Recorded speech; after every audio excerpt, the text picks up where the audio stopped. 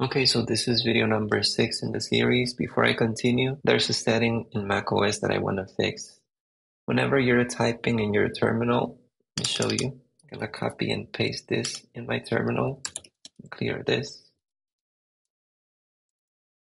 If I try to go back to the beginning of this command or to the end of the command, it takes way too long. So I want to fix that before I move on. The same thing happens if I open a file in NeoVim. Let me show you what I mean.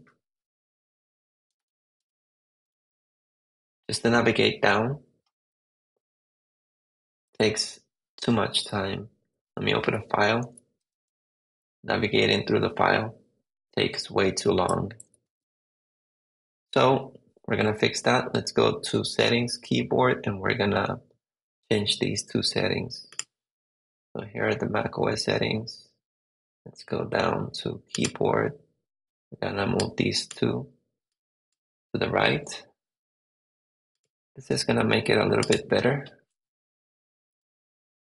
but still not fast enough. We can lower those values even more. Let's see what those values are in the terminal after we configure them in system settings. Okay, so as we can see, they are set to 2 and 15. So we're going to lower them even more. We're going to set the key repeat rate to 1 and the um, initial key repeat to 10. We can do that with these commands.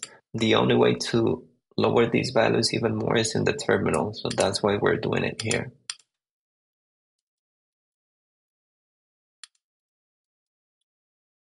Okay, now for these changes to take effect, you need to reboot your computer. So I'm gonna do that right now and see you when it's back up. Okay, so my computer is back up. Let me open my terminal and we're gonna test. Let me open NeoVim. Let me open a file. If you notice, going up and down is way faster. Let me open one of the files that we have been working with.